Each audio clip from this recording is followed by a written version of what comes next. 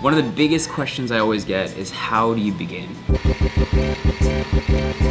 I have this little tool that I use which is called the 8 P's of losing weight and getting healthier. The first one is to plan.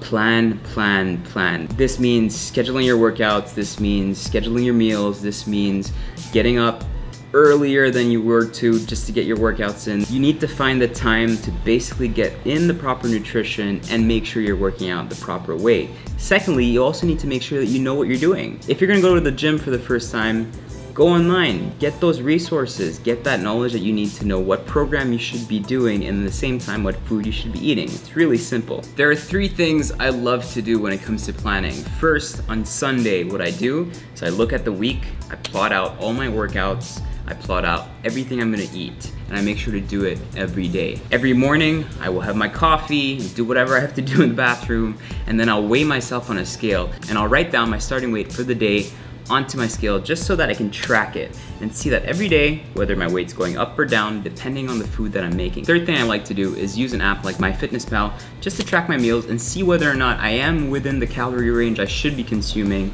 just to make sure that I'm spending more calories than I'm actually taking in. The second P is patience. You just need to make sure that you know that this is gonna take time. This is why this program was designed over 90 days. We don't think we can make you thin in a week. These things take a lot of time. It's not instantaneous. It's something that you need to be ready for. It's something that you need to mentally be ready for. Trust yourself that you've done the proper preparation and you know what you're doing and you're gonna lose weight gradually and get fitter gradually. Number three is productivity you need to be constantly moving. And this is not only in terms of getting fitter weight loss, but in everything in life. You need to make yourself smarter. You need to pick up a book. You need to get knowledge. You need to go online. It's not enough going online, putting a post on Facebook and asking people how to lose weight or just declaring that you're gonna lose weight. You just need to sift through it and find what works for you. Number four, people.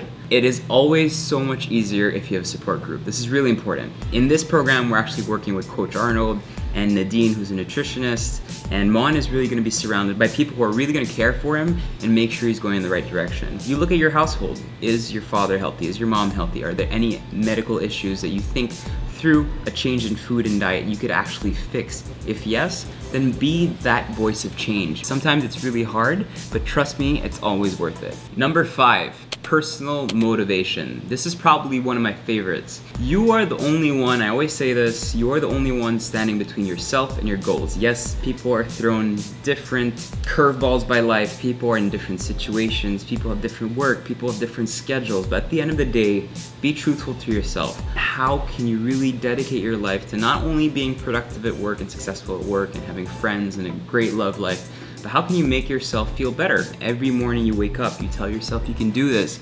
Every morning you wake up, you look at yourself shirtless and you're like, all right, maybe I don't look as great as I want to yet, but it's gonna come. You are the person that can really be your own cheerleader. Because at times you're gonna wanna quit the sacrifices can be a little too much. You won't go out as much. You won't be drinking alcohol. If you're looking at that piece of cake and you're telling yourself, damn, I really want to eat that piece of cake, don't eat it. It's really as simple as that. At the end of the day, it comes down to you. Six, perseverance. In the event you fail, and you will fail, you will cheat at some point, and you will have to start from scratch and from zero.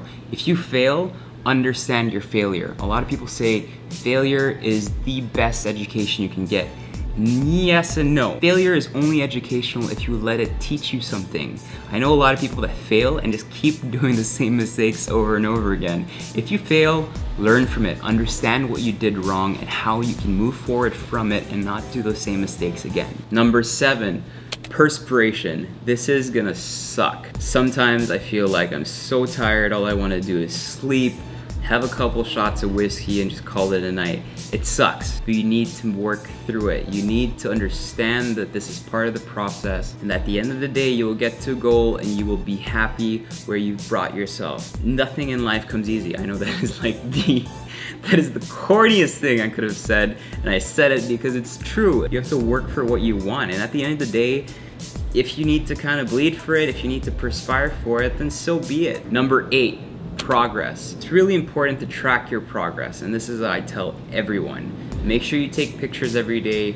Make sure you're writing down your weight. Make sure you know your stats when you're lifting weights because as you go along, you'll need to increase the intensity of the things that you're doing. And you'll understand that eventually as you get closer to your goal, it's gonna get harder simply because something like too much sodium will affect you and you'll get bloated because your body has become such a clean machine. So it's really important to track everything and make sure that you're progressing in the best way as possible. My favorite thing is after I reach a goal, I like to look back at day one and see what I looked like and compare it. It just makes you feel so much better about yourself. So there guys, that was basically it. At the end of the day, it is just so good. It makes you feel so good. I just worked out now and my endorphins are really high and I'm really happy and energetic and I'm about to attack some work and I know I'm gonna get through it simply because I've done what I needed to do. I've done my workout, I've eaten properly, everything's planned. I don't have to stress out about too much or anything that will kind of just like make me want to pig out or just lie down and sleep. Leave me a comment obviously below if you want to say anything, if you think I'm terrible,